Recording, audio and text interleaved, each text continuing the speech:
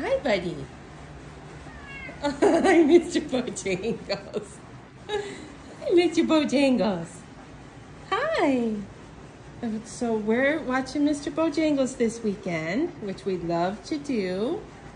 And you might remember that Mr. Bojangles is the sweet kitty that a rescue called Cannonsville Critters found him. He had been shot in the face by some evil human being, but they found him and they, um, he had lots of surgeries, didn't you, buddy? Lots and lots of surgeries. Yeah, he just had his dinner, so he's gonna wash his face. But he is the most precious, sweet little thing.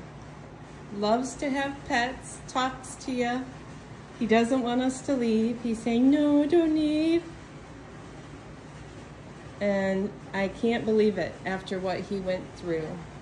Aren't you just the sweetest boy? So if you're if you're in the Belding area, um, Belding Auto Repair is where you can see Bojangles. He's their shop cat. He hangs out here all the time.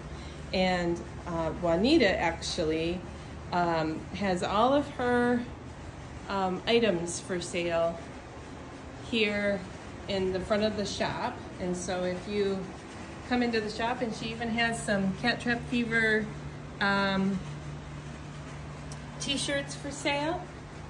Right, Bojangles. Yeah.